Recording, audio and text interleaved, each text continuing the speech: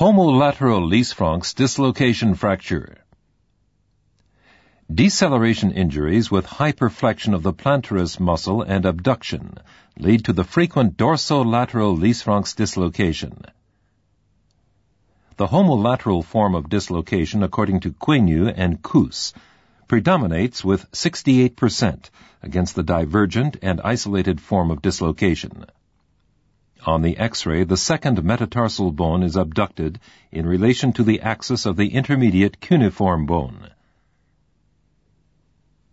The model shows the key position of the second metatarsal bone, with toothing between the medial and the lateral cuneiform bones.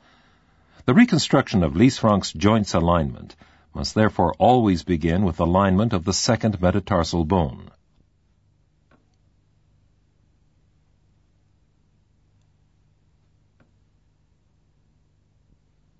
The dorsal medial incision, reconstruction of the base of the second metatarsal, alignment and transarticular fixation. This is followed by the reduction and transarticular fixation of the first metatarsal bone and the third to fifth metatarsal bones, using the 3.5 mm cortex screw as a positioning screw after strict subperiosteal dissection and alternating the retraction of the soft tissues. In this exercise, we will use the quick coupling for K-wires, the triple drill guide, the small wire cutter,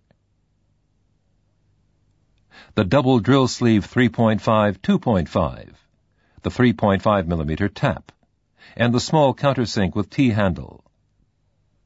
The small pointed reduction forceps, the depth gauge, the small hexagonal screwdriver, a scalpel and forceps for the removal of the rubber skin. The mechanism of dislocation in the homolateral form of Lisfranc's dislocation fracture is easily demonstrated on the dissected foot skeleton. Extreme abduction and forced hyperflexion of the forefoot result in a dislocation of the metatarsal bones dorsolaterally and subsequent instability of the entire Lisfranc's joints. In order to simplify the exercise, a simple shear fracture of the base of the second metatarsal bone is chosen instead of the frequent butterfly or Y-shaped fracture. After K-wire fixation, the entire ray is anatomically aligned with the second cuneiform bone.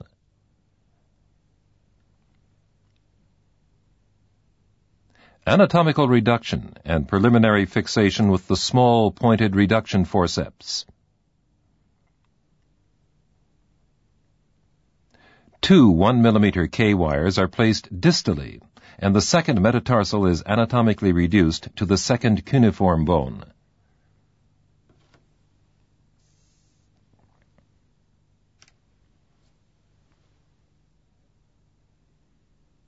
Temporary fixation of the reduction with a lateral 1.6 mm K wire with threaded tip.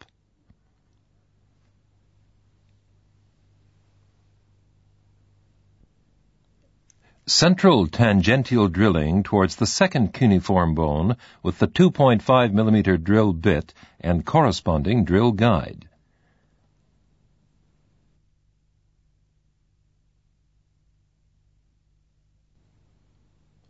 Tangential countersinking for a better position of the screw head.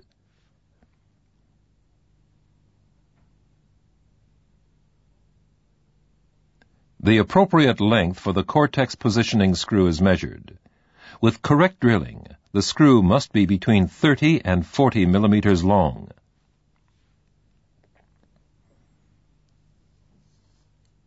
Tapping along the entire length.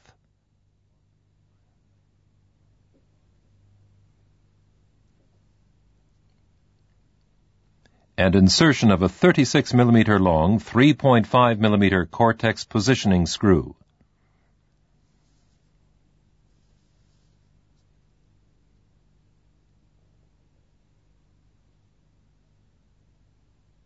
The temporary K-wire is removed.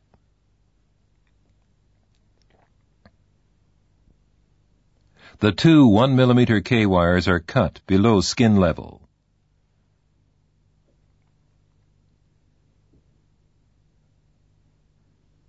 Reduction of the first ray, and temporary fixation with peripheral 1.6 mm K wires with threaded tip.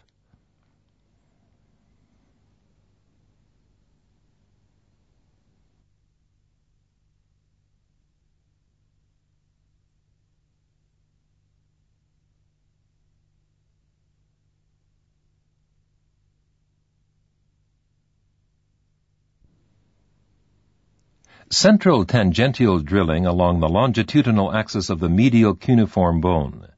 Countersinking, depth measurement, tapping, and insertion of the 46 millimeter long cortex positioning screw.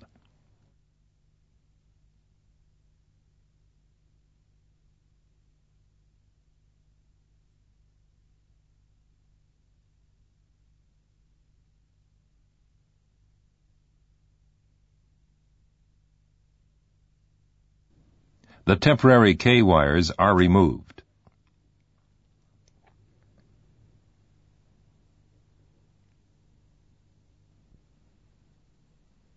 The same procedure is performed on the third metatarsal against the lateral cuneiform bone. Temporary K-wire fixation, drilling, countersinking, depth measurement, and insertion of the 3.5 mm cortex positioning screw.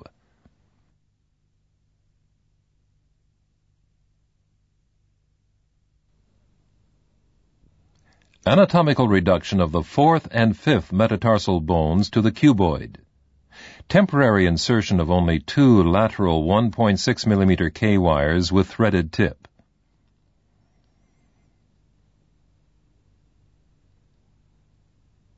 In the fourth ray, the 3.5 mm cortex positioning screw is also inserted along the longitudinal axis of the metatarsal bone.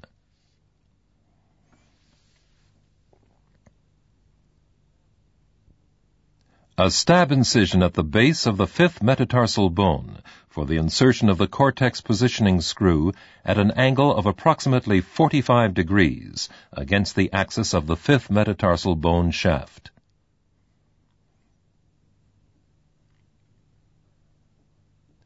The entire Lisfranc's articulation line is now anatomically reduced and stabilized.